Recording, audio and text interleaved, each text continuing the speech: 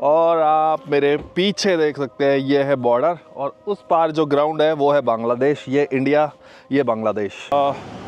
Menu खोल के देखा मैंने। Pork pork pork pork pork pork pork Asia के क्लीनेस्ट विलेज मेलिनोंग में एक नाइट गुजारने के बाद में हमें निकलना था डॉकी के लिए। डॉकी में है दो टूरिस्ट स्पॉट, जिसमें एक है बांग्लादेश बॉर्डर और दूसरा है उनगोट रिवर। उनगोट रिवर को माना जाता है कि सबसे क्लीन रिवर है एशिया की, और इसका पानी इतना साफ़ होता है सर्दियों में कि 10 फीट तक आप ज़मीन देख सकते हैं इसके नीचे तक। तो हम बस इसी चाहत में और इसी एक्साइटमेंट के साथ निकल पड़े आगे के सफ़र के लिए।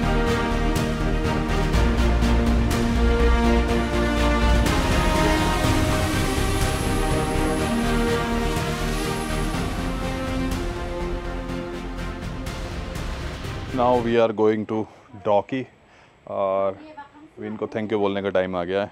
हम यहाँ होम स्टे में रुके थे। बहुत अच्छे लोग हैं, मैंने इनसे जो सामने देख रहे हैं, आप मेरे, मैंने इनसे बात भी की है। और जाना है यहाँ के बारे में विलेज के बारे में, इन लोगों के बारे में। तो बहुत अच्छा लगा। दोबारा मिलेंगे इनसे। चलिए, चलते हैं डॉकी और फिर उसके बाद निकलेंगे हम घर। We are going okay thank you thank you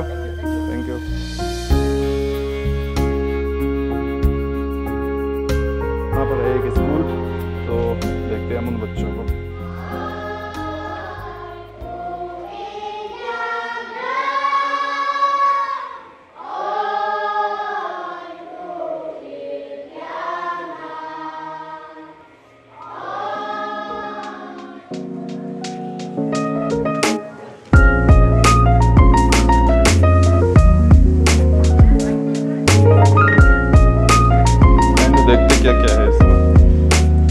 यार तुम राजस्थान, हरियाणा या फिर नॉर्थ साइड के और तुम रोटियाँ खाते हो तो यार ये जो रोटियों की तलब है ना, तुम्हें तोड़ने वाली है यहाँ पे।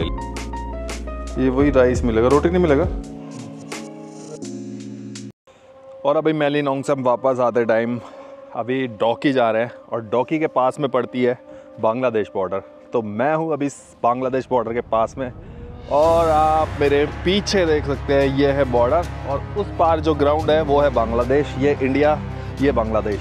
तो आइए चलिए दिखाते हैं हम आपको।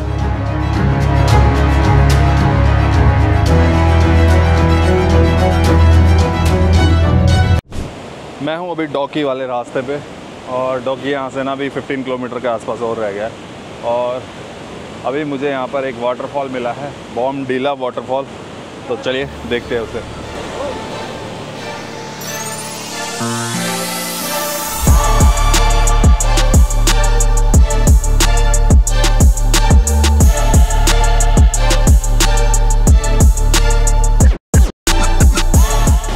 देखो आप वाटरफॉल देखो आप, और आवाज़ सुनो उसकी, और खतरा देखो आप। ऐसा लग रहा है मानो किसी ने डैम खोल दिया हो। ये देखो आप। स्पीड देखो इस वाटरफॉल का। कुकुम्बर कितने का दिया? कुकुम्बर। थर्टी। वन पीस काटना।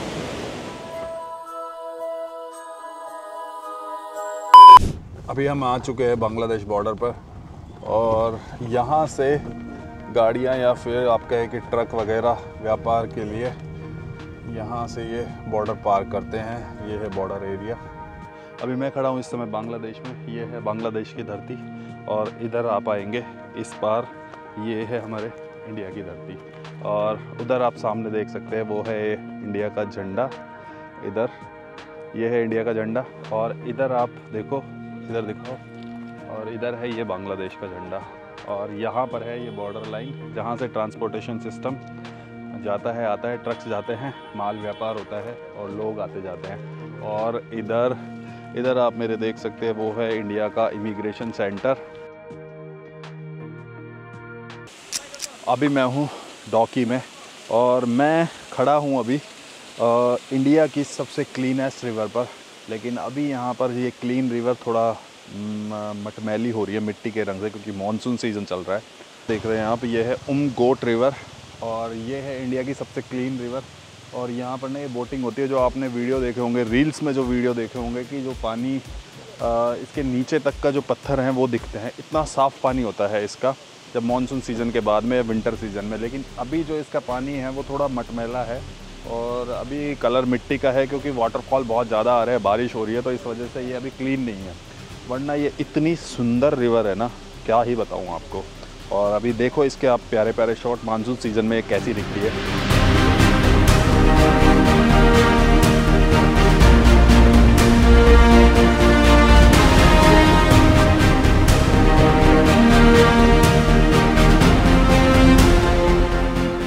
अभी हम जा रहे हैं नीचे।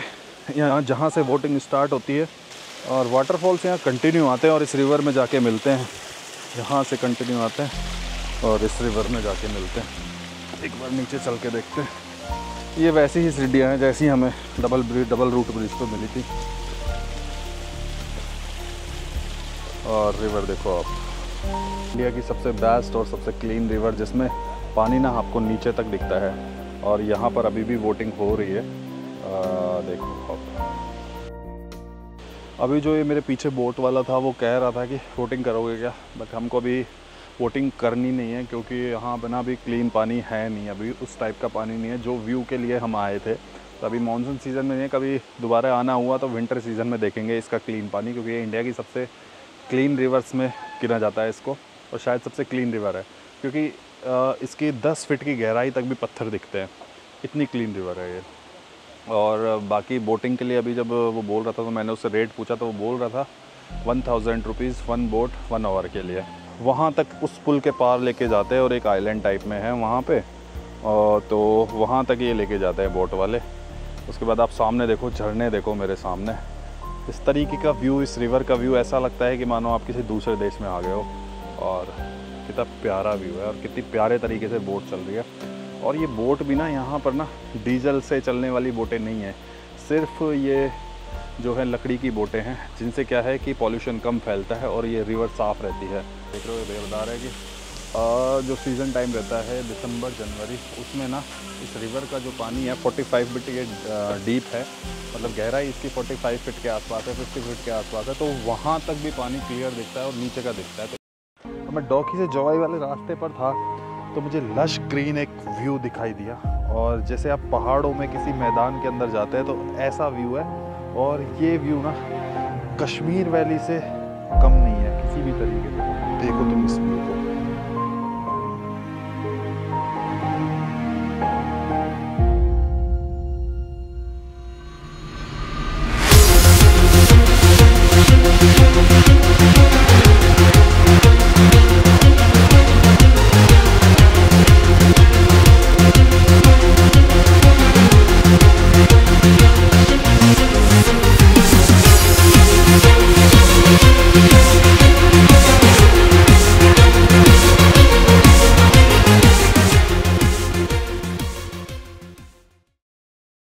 तो राइट नाउ अभी हम आ गए हैं डोकी जोवाई वाले रास्ते पे और यहाँ पर है एक वाटरफॉल बहुत ही सुंदर वाटरफॉल जिसका नाम है फीफी वाटरफॉल और काफ़ी अच्छा और काफ़ी फ़ेमस वाटरफॉल है। तो हम अभी उस साइड ही जा रहे हैं। और ये सब मुश्किलों का सामना करते हुए हम पहुँचे कुछ।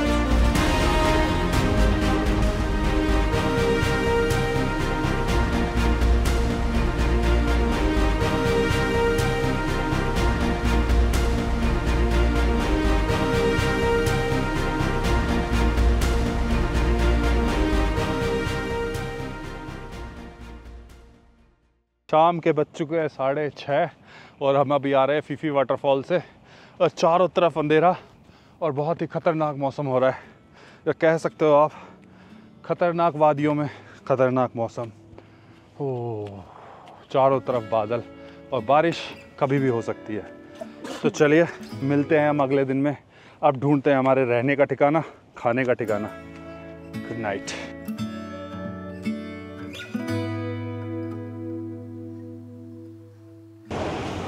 blue heaven restaurant है तो। सब जगह नॉन वेज है तो। ये मार्केट है तो पूरा।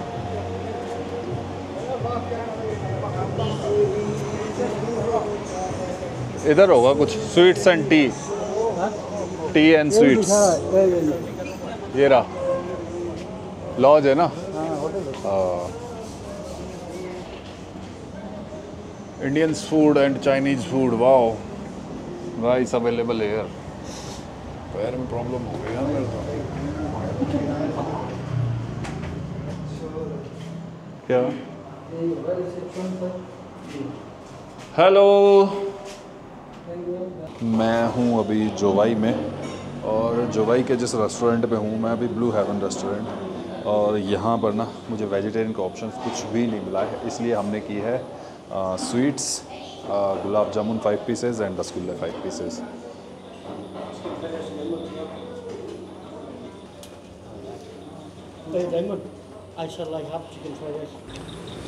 और वेजिटेरियन वालों मेघालय जब आते हो तो बस इसी चीज़ का ध्यान रखना कि यहाँ पर ना वेजिटेरियन के ऑप्शंस बहुत कम है। अभी मैं रेस्टोरेंट पे गाऊँ एक तो संडे को ना सारा मार्केट बंद रहता है।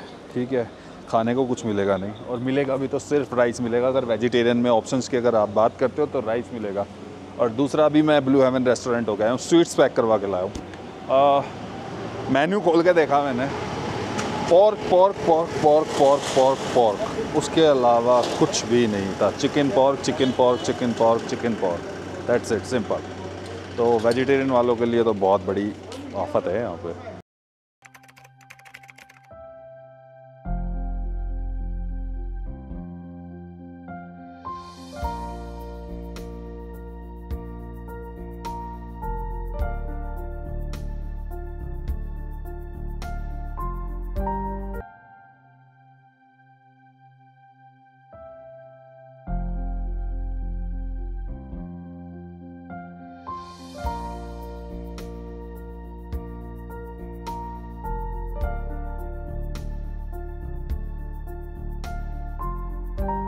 तो अभी हमें जोवाई में। जोवाई में हम रात को पहुँच चुके थे, नाइट में वहीं रुके थे। और जोवाई से थोड़ा आगे आए हैं हम। यहाँ पर है त्राशी फॉल और ये हमारा लास्ट स्पॉट है कवर करने का। और इसके बाद हम सीधे निकलेंगे गुवाहाटी और कल की हमारी फ़्लाइट है तो हमें निकलना पड़ेगा हमारे होम टाउन तो ये है हमारा लास्ट स्पॉट तो हम इसे कवर करते हैं, देखते हैं ये वाटरफॉल कैसा है। बहुत वाटरफॉल देखे हैं। बट देखते हैं ये किस तरीके का वाटरफॉल है। तो चलिए ये जोवाई के हरे भरे खेत हैं और यहाँ से ये त्राशी फॉल का रास्ता जा रहा है।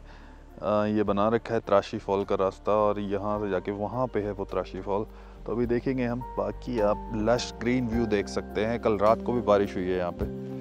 और अभी भी बारिश की दो तीन बूंदें टपक रही हैं बौछारें हो रही हैं। और यहाँ पर ये देखो खेत में ना शायद चावल बोए जा रहे हैं। मानसून सीज़न है। ओह नाइस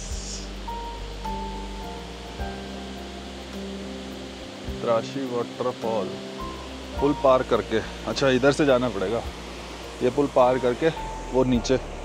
पानी आ रहा है। इस साइड से जाना पड़ेगा। हम त्राशी वाटरफॉल के नीचे के एरिया में जा रहे हैं जहाँ से वाटरफॉल दिखता है। लेकिन त्राशी वाटरफॉल इतना अच्छा नहीं लग रहा हमें। आ, हमें जो अच्छा लग रहा है वो आप ये वाला जो व्यू है ना ये देखो आप। What a beauty lush green ground and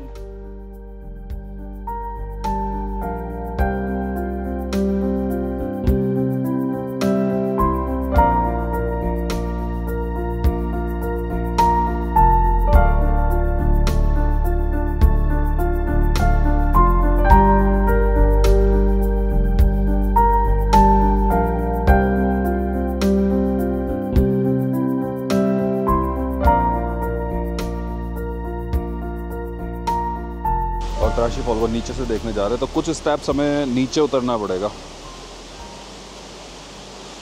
यहाँ से ना नीचे उतरना पड़ेगा हमें त्राशी फॉल को देखने के लिए।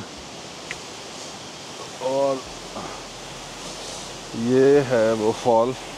और यहाँ से इस फॉल से ना ये खेतों में पानी जाता है, और, ये खेत है ना, यहाँ पर खेती होती है, इस पानी का यूज़ यहाँ लिया जाता है बहुत अच्छे तरीके से। तो चलो नीचे चलते हैं एक बार। या फिर हम यहीं से देख लेते हैं इसको। आ, ये है बस वाटरफॉल और आगे इधर चल के देखते हैं कहाँ से दिखता है ये वाटरफॉल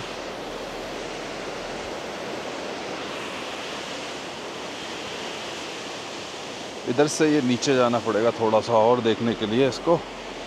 फिर देखते हैं। अब यहाँ से थोड़ा अच्छा व्यू दिख रहा है इसका। तो हम यहीं से ही इसको कैप्चर कर लेते क्योंकि ज़्यादा नीचे जाएँगे नहीं हम। वाह